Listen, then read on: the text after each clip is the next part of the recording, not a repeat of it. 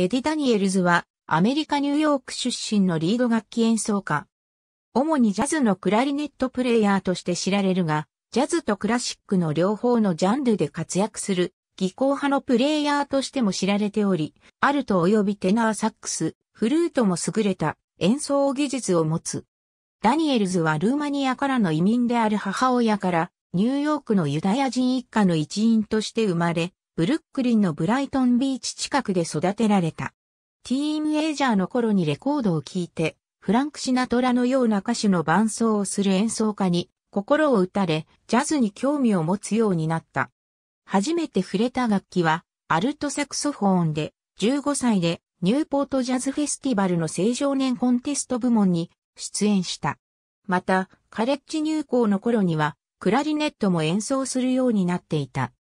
その後、サド・ジョーンズとの共演など、様々なバンドや小グループあるいはオーケストラの演奏旅行や録音に参加し、幾度となくテレビにも出演したが、1980年代以降、40歳を過ぎてからは主にクラリネットに傾注し、1989年にはロジャー・ゲラウェイ編曲によるメモス・フロム・パラダイスの演奏でグラミー賞を獲得した。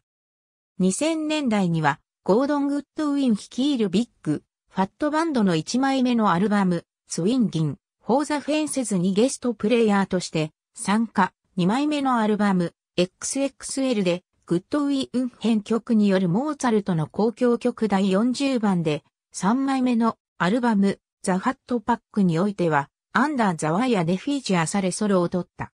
2009年、スイス人作曲家で、サクソフォーン奏者のダニエル・シュナイダーによって、ダニエルズのために、クラリネットとオーケストラのための競争曲マトリックス21が作曲、検定された。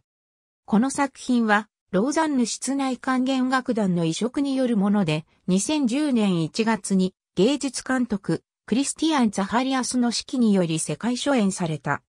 アメリカでは2010年7月18日、クレステッドビュッテ音楽祭において、音楽監督イエンス・ゲオルク・バッハマンの指揮で初演された。これまでに5度グラミー賞にノミネートされている。共演者としては、サド・ジョーンズのほか、ゲイリー・バートン、マルグリュー、ミラー、ローランド・ハナ、リチャード・デイビス、読売日本交響楽団らが挙げられる。日本人ミュージシャンでは、日野照正、菊池正明とのレコーディングがあり、1991年にはブルーノート東京に来園している。ありがとうございます。